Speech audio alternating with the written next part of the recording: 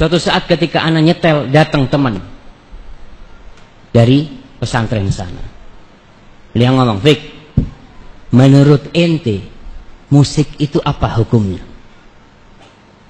Anak ngomong, ada dua pendapat. Yang satu mengatakan haram dan satu menyatakan halal.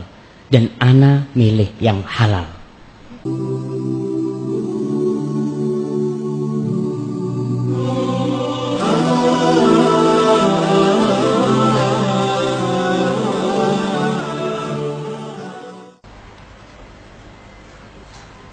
Bicara masalah musik nih.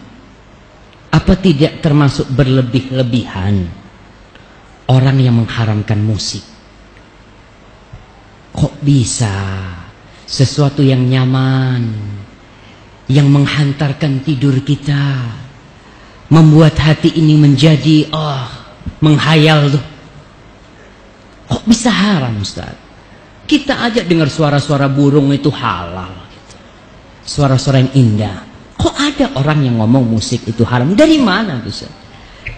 Kemudian apa masalah ini bukan masalah khilafiyah Ustaz? Kalau memang ada ulama yang mengatakan haram, mungkin ada yang mengatakan halal juga. Sebelum jawab ini, saya akan menceritakan kejadian berapa tahun yang lalu. 1315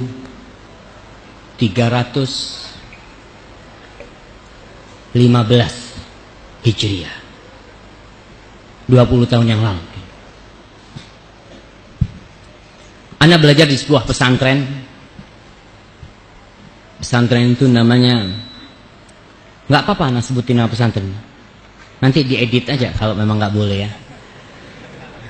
Pesantrennya pesantren Al-Irsyad Al-Islamiyah di kota Bondowoso. Jauh di ujung timur sana.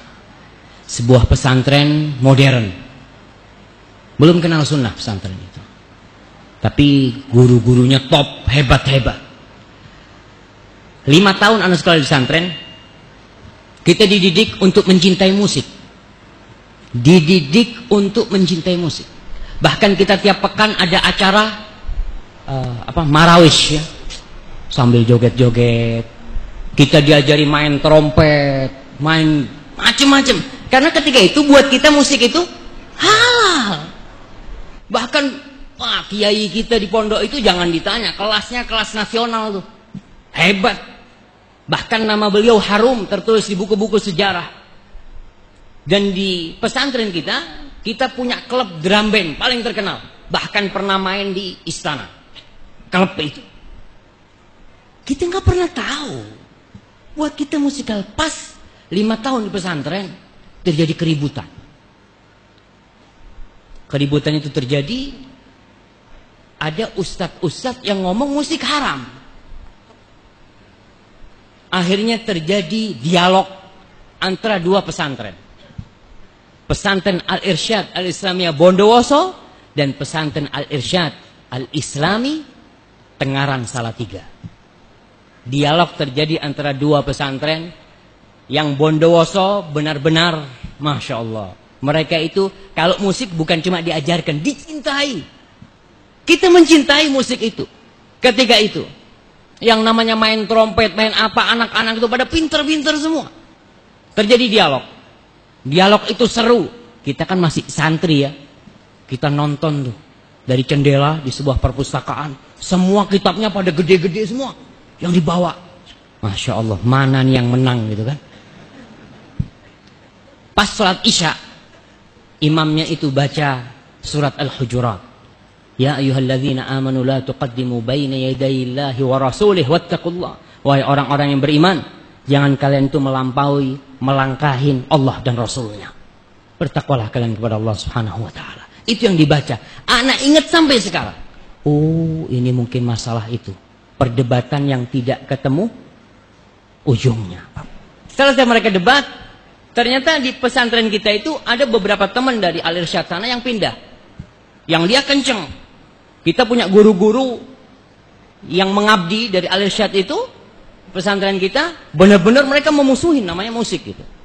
Maka terjadi ada bentrok di dalam pesantren itu sendiri. Antara kubu yang menghalalkan dan yang mengharamkan. Ana ditanya, ketika itu Ana ingat Ana sebagai ya ketua OSISnya lah di pesantren. Kita tiap sore di pesantren itu tiap sore mesti nyetel musik. Tapi sama gurunya nggak boleh ada nggak boleh ada syairnya. Jadi instrumen ya, instrumen aja di setel. Kita main bola, olahraga apa itu di setel. Suatu saat ketika anak nyetel datang teman dari pesantren sana. Beliau ngomong, Fik, menurut ente musik itu apa hukumnya? Anak ngomong, ada dua pendapat. Yang satu mengatakan haram dan satu menyatakan halal. Dan ana milih yang halal. Kita namanya anak-anak waktu itu. Kita yang penting, oh ini kan berarti khilaf boleh lah. Orang semua punya kitabnya gede-gede gitu kan. Sama tuh kitabnya. Berarti boleh. Anak katakan sama dia. Anak nggak ngerti masalah hukum. Pada waktu itu. Bahkan kita sudah mendarah daging walaupun kita nggak jadi musisi ya. Belum kita waktu. Karena kita mau jadi ustadz. Cuma ustadz yang suka musik. Dididik seperti itu. Sudah berlalu kejadian itu. Tetap. Namun seorang muslim kan dituntut untuk belajar. Untuk mengkaji. Apa benar se apa ya, seremeh itu kita boleh memilih. Setiap ada perselisihan kita boleh memilih. Ada khilaf nih di antara para ulama. Ente milih yang mana? Ya anak milih yang enak lah. Apa boleh seperti itu? Atau kita sebagai seorang hamba harus hati-hati. Ternyata tidak semua khilaf. Laisa kullu khilafin mu'tabar illa khilafun fihi hadzun minan nawar. Tidak semua perselisihan itu bisa diterima kecuali khilaf yang memang ada ruang untuk beda pendapat di situ. Apakah musik ini termasuk yang ada ruang untuk khilaf pendapat? Itulah yang kemudian ana mengkajinya. Ana belajar. Karena kita di pesantren, kita dididik untuk bisa baca kitab. Ternyata perselisihan itu tidak bisa diterima. Kenapa? Imam yang empat. Kita bicara imam yang empat. Siapa yang bisa menyebutkan imam yang empat bersama tanggal matinya?